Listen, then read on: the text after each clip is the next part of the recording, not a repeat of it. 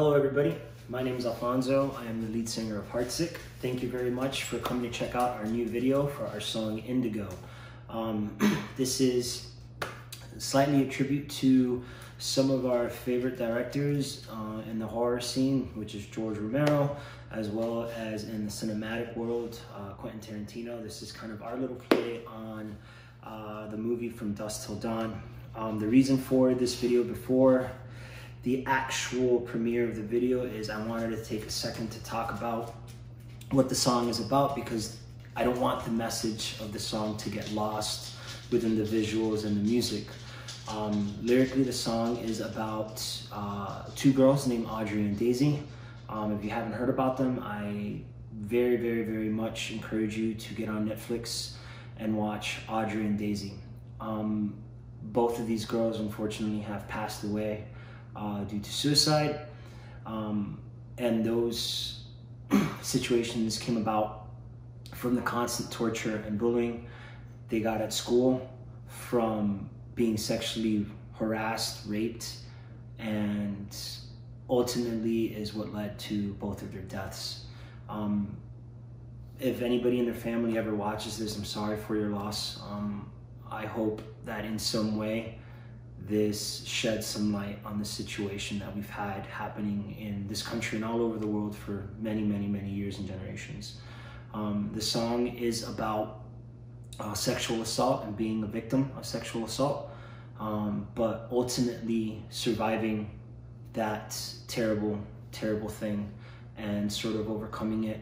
Um, the interesting part about this video is that all of the actresses in the video, uh, the girls and one who prefers the pronoun them and they, um, have all been victims of either sexual assault or and if rape. Um, and that goes to show a lot that I chose five women who didn't know each other, who really have no similar backgrounds, and each and every one of them had a story about being sexually assaulted. Um, that's not good. That's not good at all. The fact that almost every girl that you know probably has a story about being sexually harassed or is assaulted. Um, we have to change this in our society. As men, we need to protect our women, but we also need to believe women. And this is kind of our way of showing that even though you're a victim, you can come back and not be a victim anymore and be powerful. Um, there's a lot of power in survival. There's a lot of power in being able to tell your story. And I really want to get that point across that although we really believe in the song, we really love the video and what our friend Ron did, um, and we love all the visual works, I really want it to stress just how important the message of this video is.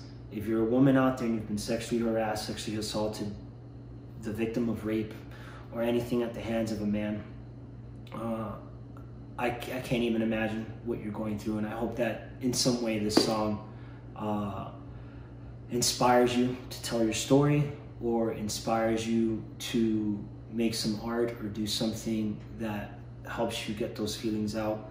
To the family of Audrie and Daisy, I am so deeply sorry about what happened and the injustices that both those girls faced are just beyond words and measure.